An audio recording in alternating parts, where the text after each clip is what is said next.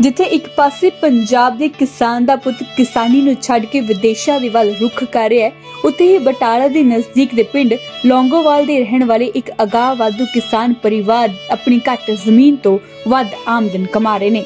ਉੱਥੇ ਹੀ ਆਰਗੈਨਿਕ ਖੇਤੀ ਕਰ ਲੋਕਾਂ ਨੂੰ ਚੰਗਾ ਖਾਣ ਦੇ ਲਈ ਅਤੇ ਜ਼ਮੀਨ ਨੂੰ ਉਪਜਾਊ ਰੱਖਣ ਦੇ ਲਈ ਵੱਖ-ਵੱਖ ਤਰ੍ਹਾਂ ਦੀ ਪਹਿਲ ਕਰ ਰਿਹਾ ਹੈ।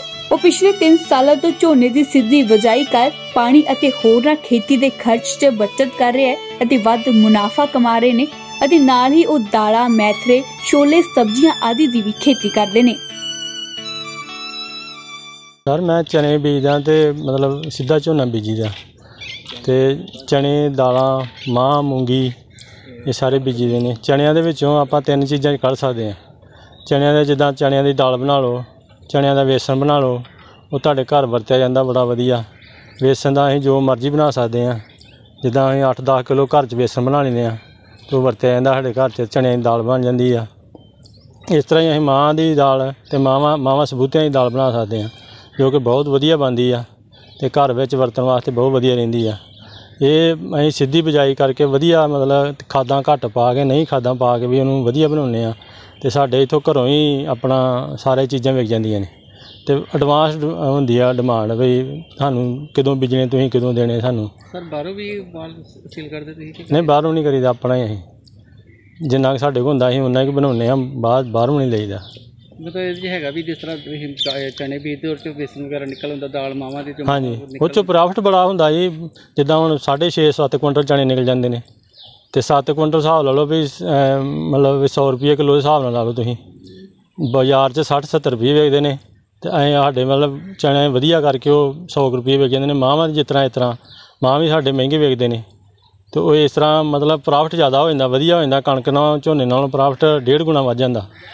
ਜੇ ਆਪਾਂ ਸਾਰੇ ਜ਼ਿਮੀਂਦਾਰ ਇਸ ਤਰ੍ਹਾਂ ਇਹਦੇ ਵੱਲ ਧਿਆਨ ਦਈਏ ਤੇ ਬਹੁਤ ਵਧੀਆ ਚੀਜ਼ ਆ, ਜਿਹੜੀਆਂ ਬਾਹਰੋਂ ਚੀਜ਼ਾਂ ਮੰਗਵਾਉਣੀਆਂ ਪੈਂਦੀਆਂ ਨੇ, ਉਹ ਸਾਨੂੰ ਨਾ ਮੰਗਵਾਉਣੀਆਂ ਪੈਣ।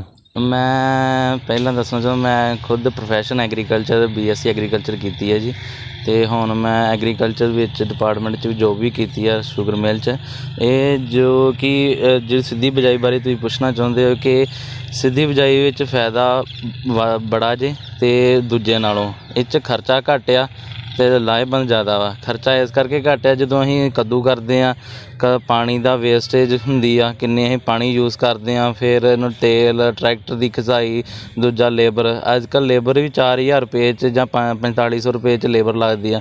ਅਸੀਂ ਸਟਾਰਟਿੰਗ ਕੀਤੀ ਸੀ ਜਦੋਂ ਲਾਸਟ ਟਾਈਮ 3 ਈਅਰ ਪਹਿਲਾਂ ਸਟਾਰਟਿੰਗ ਕੀਤਾ ਸੀ ਉਦੋਂ ਸਾਡਾ ਅ, ਸਿਰਫ 6000 ਰੁਪਇਆ ਪਰ ਏਕੜ ਖਰਚਾ ਆਇਆ ਸੀ। ਤੇ ਹੁਣ ਆਪਾਂ ਇਸ ਟਾਈਮ ਖਰਚਾ ਕੀਤਾ ਕਿ 7000 ਰੁਪਇਆ ਪਰ ਏਕੜ ਖਰਚਾ ਆਇਆ ਕਿਉਂਕਿ ਐਤਕੀ ਤੇਲ ਵੀ ਮਹਿੰਗਾ ਹੋ ਗਿਆ। ਤੇ ਇਸ ਕਰਕੇ ਉਹਨਾਂ ਨੇ ਟਰੈਕਟਰ ਵਾਲਿਆਂ ਥੋੜਾ ਤੇ ਅ, ਲਿਆ। ਇਸ ਕਰਕੇ ਇਹਦੇ ਸਟਾਰਟਿੰਗ ਤੇ ਹੀ ਆਪਾਂ ਇੰਨਾ ਖਰਚਾ ਘੱਟ ਕੀਤਾ ਵਾ ਤੇ ਗਾਂ ਗਾਂ ਫਾਇਦਾ ਹੁੰਦਾ ਹੀ ਹੈ। ਇਸ ਕਰਕੇ ਬੜਾ ਵੱਡਾ ਪੁਆਇੰਟ ਹੈ ਕਿ ਖਰਚਾ ਇਸ ਤੇ ਬਚਾਈਏ। ਸਰ ਇੱਕ ਤੁਸੀਂ ਪਤਾ ਲੱਗਾ ਵੀ ਚਨੇ ਵਗੈਰਾ ਵੀ ਲਾਉਂਦੇ ਹੋ। ਉਹਦਾ ਕੀ ਕਾਰਨ ਹੁੰਦਾ ਹੈ? ਸਰ ਚਣੇ ਅ, ਅ, ਜਿਹੜੇ ਦਾਲਾਂ ਪਲਸਿਸ ਲਾਈ ਦੀਆਂ ਆਪਾਂ ਦਾਲਾਂ ਦੂਲਾਂ ਉਹਦੇ ਨਾਲ ਇੱਕ ਬਦਲਾਵ ਹੁੰਦਾ ਵਾ। ਕਣਕ ਝੋਨਾ ਹੀ ਕਿੰਨਾ ਕੁ ਚਿਰ ਵਰਤੀ ਜਾਵਾਂਗੇ ਲਾਈ ਜਾਵਾਂਗੇ ਉਹਦੇ ਲਈ ਆਪਾਂ ਅ, ਕੁਝ ਚੇਂਜਿੰਗ ਕਰੀਏ ਕਿ ਜਿਹੜਾ ਸਾਨੂੰ ਫਾਇਦਾ ਹੋਏ ਆਪਣੇ ਗਾਂ ਕੋਈ ਲੋਕਾਂ ਨੂੰ ਫਾਇਦਾ ਵਧੀਆ ਦਾਲਾਂ ਖਵਾ ਸਕਦੇ ਆ ਆਪਾਂ ਹੁਣ ਜਿੱਦਾਂ ਬਾਹਰੋਂ ਇੰਪੋਰਟ ਕਰੀਦੀਆਂ ਦਾਲਾਂ ਉਹ ਤੇ ਕੀ ਕੀ ਪਤਾ ਕੀ ਪੈਸਟੀਸਾਈਡ ਕਿੰਨੀਆਂ ਬਿਮਾਰੀਆਂ ਕਿੰਨੇ ਟ੍ਰੀਟਮੈਂਟ ਹੋ ਕੇ ਆਏ ਆ। ਹੁਣ ਆਪਾਂ ਇਥੋਂ ਪੈਲੀ ਚ ਲਾਏ ਦੇ ਆਪਾਂ ਘਰ ਜਾ ਕੇ ਉਥੋਂ ਪੂਰਾ ਐਂ ਆਪਣਾ ਸੀਡ ਟ੍ਰੀਟਿੰਗ ਵਾਂਗੂ ਕਰੀਦਾ ਵਾ ਤੇ ਵਧੀਆ ਕਰੀਦਾ। ਬਾਅਦ ਚੋਂ ਆਣ ਕਿ ਲੋਕੀ ਘਰੋਂ ਪਹਿਲਾਂ ਐਡਵਾਂਸ ਬੁਕਿੰਗ ਕਰ ਲੈਂਦੇ ਕਿ ਸਾਨੂੰ ਇੰਨੇ ਕੁਇੰਟਲ ਚਾਹੀਦੇ ਇੰਨੇ ਕਿਲੋ ਚਾਹੀਦੇ, ਇੰਨਾ ਚਾਹੀਦਾ ਸਾਨੂੰ। ਚਣੇ ਲਾਏ ਆ, ਚਣੇ ਵੀ ਮੇ ਮੇ ਵੀ ਲਾਸਟ ਈਅਰ ਸਾਡੇ ਕਿੱਲੇ ਚੋਂ 7 ਕੁਇੰਟਲ ਨਿਕਲੇ ਸੀ ਤੇ ਮੇਥਰੇ 8 ਕੁਇੰਟਲ ਨਿਕਲੇ ਕਿੱਲੇ ਚੋਂ ਤੇ ਕੀ ਫਾਇਦਾ? ਉਹਨੂੰ ਇੱਕ ਪਾਣੀ ਲੱਗਾ ਮੇਥਰਿਆਂ ਨੂੰ ਤੇ ਆਪਾਂ ਇਹ- ਇੱਕ ਪਾਣੀ ਦੋ ਪਾਣੀ ਲੱਗੇ ਤੇ ਸਾਰਾ ਸਾਰਾ 6 ਮਹੀਨੇ ਵਿਹਲੇ ਬੈਠੇ ਤੇ ਬਾਅਦ ਚੋਂ ਅਸੀਂ ਮਸ਼ੀਨ ਲਾ ਕੇ ਉਹਨੂੰ ਕੱਢ ਦਿੱਤਾ। ਉਹਦੀ ਅ, ਮੇਥਰੇ ਕੱਢਣ ਇੰਨੀ ਔਖੀ ਨਹੀਂ ਆ।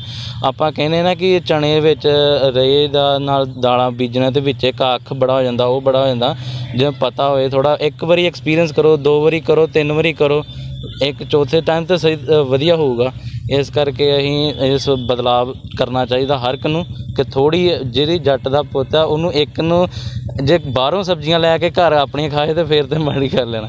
ਇੱਕ ਤੇ ਖਾਣਾ ਚਾਹੀਦਾ ਹੈ। ਤੁਹਾਨੂੰ ਲੱਗਦਾ ਜਿਸ ਤਰ੍ਹਾਂ ਹਰ ਕਿਸਾਨ ਇਹ ਬੀਜੇ ਤੇ ਜਿਹੜੇ ਮਹਿੰਗਾਈ ਹੋ ਰਹੀ ਆ ਉਹਦੇ ਨਾਲ ਬੜਾ ਫ਼ਰਕ ਪੈਂਦਾ ਜਿਸ ਤਰ੍ਹਾਂ ਬਾਹਰੋਂ ਮੰਗਵਾਉਂਦੇ ਪਏ ਜੇ ਪੰਜਾਬ 'ਚ ਇਹੋ ਜਿਹੀਆਂ ਚੀਜ਼ਾਂ ਬਣਨ ਲੱਗ ਤੇ? ਬਿਲਕੁਲ ਜੀ ਬਿਲਕੁਲ। ਅੱਗੇ ਆ ਵੇਖੋ ਕਿ ਮੈਂ ਖੁਦ ਬੈਂਕਰ ਆ। ਮੈਂ ਇੱਕ ਬੈਂਕ 'ਚ ਮੈਨੇਜਰ ਲੱਗਾ।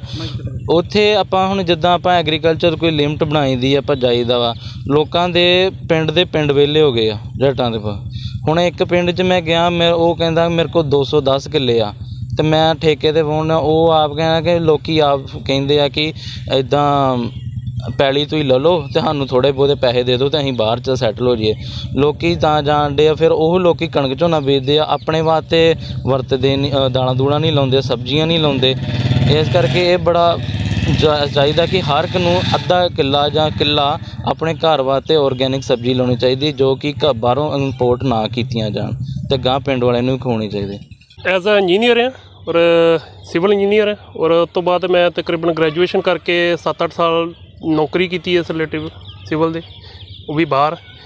ਔਰ ਬਾਹਰੋਂ ਫਿਰ ਤਕਰੀਬਨ ਲੋਕਡਾਊਨ ਦੇ ਵਿੱਚ ਇੰਡੀਆ 'ਚ ਆਇਆ ਤੇ ਇੰਡੀਆ 'ਚ ਆ ਕੇ ਫਿਰ ਇੱਥੇ ਦਾ ਸਿਸਟਮ ਵੇਖਿਆ ਕਿ ਫਿਰ ਇੱਥੇ ਹੀ ਆਪਾਂ ਸੋਚਿਆ ਕਿ ਕੋਈ ਨਾ ਕੋਈ ਕਾਰੋਬਾਰ ਇੱਥੇ ਸ਼ੁਰੂ ਕੀਤਾ ਜਾਏ, ਕਿ ਨਾਲ ਨਾਲ ਕਾਰੋਬਾਰ ਵੀ ਆਪਣਾ ਕੋਈ ਬਿਜ਼ਨਸ ਚੱਲੇ ਕਿਉਂ ਨਾ ਆਪਾਂ ਐਗਰੀਕਲਚਰ ਨੂੰ ਵਧੀਆ ਤਰੀਕੇ ਨਾਲ ਪ੍ਰਮੋਟ ਕੀਤਾ ਜਾਏ? ਲੋਕ ਇੱਕ ਇੱਕ ਕਿੱਲੇ ਵਿੱਚ 10-10 ਲੱਖ ਰੁਪਏ ਕਮਾ ਰਹੇ ਨੇ। ਉਹ ਕਿੱਦਾਂ ਕਮਾ ਰਹੇ ਨੇ? ਕੁਝ ਹਟਵੀਂ ਕੰਮ ਕਰਕੇ।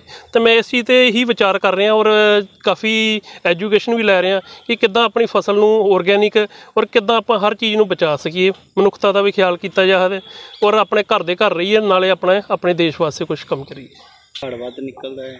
ਕਿ ਜਿਹੜਾ ਕੱਦੂ ਵਾਲਾ ਸੀ, ਉਹ ਸਹੀ ਸੀ ਹੈਗਾ ਸਰ, ਇਸ ਚੀਜ਼ ਦੀ ਗੱਲ ਕੀਤੀ ਜਾਏ ਤੇ ਇਹ ਥੋੜਾ ਜਿਹਾ ਨਵੇਂ ਆ, ਵਾਸਤੇ ਥੋੜਾ ਜਿਹਾ ਤਜਰਬੇ ਵਾਲੀ ਗੱਲ ਹੈ। ਅਸੀਂ ਵੀ ਤਕਰੀਬਨ ਪਿਛਲੇ 3 ਸਾਲਾਂ ਤੋਂ ਇਸ ਚੀਜ਼ ਨੂੰ ਕਰ ਰਹੇ ਹਾਂ। ਤਜਰਬਾ ਕਰ ਕਰਕੇ ਹੀ ਸਮਝ ਲੱਗਦੀ ਆ। ਔਰ ਇਹਦਾ ਰਿਜ਼ਲਟ ਇਹ ਹੈ ਕਿ ਅਸੀਂ ਆਪਣੀ ਜ਼ਮੀਨ ਨੂੰ ਬਹੁਤ ਵਧੀਆ ਬਚਾ ਸਕਦੇ ਹਾਂ। ਜੇ ਅਸੀਂ ਆਪਣੀ ਮਨੁੱਖਤਾ ਨੂੰ ਬਚਾਉਣਾ ਚਾਹੁੰਦੇ ਹਾਂ, ਤੇ ਆਪਾਂ ਨੂੰ ਤਿੰਨ ਚਾਰ ਚੀਜ਼ਾਂ ਦਾ ਧਿਆਨ ਰੱਖਣਾ ਪਏਗਾ। ਪਾਣੀ ਨੂੰ ਬਚਾਉਣਾ ਤਾਂ ਬਚਾਉਣਾ ਹੀ ਆ। ਔਰ ਡਾਇਰੈਕਟ ਸੀਡਿੰਗ ਦੇ ਵਿੱਚ ਸਭ ਤੋਂ ਜ਼ਿਆਦਾ ਆਪਾਂ ਪਾਣੀ ਨੂੰ ਬਚਾ ਸਕਦੇ ਬਹੁਤ ਘੱਟ ਕੁਆਂਟੀਟੀ ਵਿੱਚ ਐਜ਼ ਕੰਪੇਅਰ ਟੂ ਆਪਾਂ ਜੇ ਟਰਾਂਸਪਲਾਂਟ ਕਰਦੇ ਹਾਂ, ਤਾਂ ਉਹਦੇ ਅਕੋਰਡਿੰਗ ਇਹਦੇ ਵਿੱਚ ਪਾਣੀ ਬਹੁਤ ਘੱਟ ਲੱਗਦਾ। ਬਾਕੀ ਪੈਸਟੀਸਾਈਡ ਦੀ ਵੀ ਗੱਲ ਹੈਗੀ ਆ ਤੇ ਇਹ ਆਪਾਂ ਪੈਸਟੀਸਾਈਡ ਨੂੰ ਵੀ ਜੇ ਘਟਾਈਏ, ਕਿਉਂਕਿ ਜਦੋਂ ਕੱਦੂ ਵਾਲਾ ਝੋਨਾ ਹੈ ਨਾ, ਉਹ ਉਹਦੀਆਂ ਕੀ ਹੁੰਦੀਆਂ, ਜੜ੍ਹਾਂ ਥੱਲੇ ਨਹੀਂ ਜਾਂਦੀਆਂ। ਉਹ ਉਨੇ ਕੁ ਜਿੰਨੀ ਕਿ ਉਹਨਾਂ ਪੋਲ ਹੁੰਦੀ ਉਨੇ ਕੁ ਥਾਂ 'ਚ ਜੜ੍ਹਾਂ ਮਿਲ ਫਿਲਦੀਆਂ। ਜਦੋਂ ਹਨੇਰੀ, ਤੂਫਾਨ ਹੁੰਦਾ ਆ, ਤਾਂ ਉਹ ਬੂਟੇ ਕਿਤੇ ਨਾ ਕਿਤੇ ਆਪਣੀ ਸਾਰੀ ਪੈਲੀ ਤਹਿਸ ਨਹਿਸ ਹੋ ਜਾਂਦੀ ਹੈ।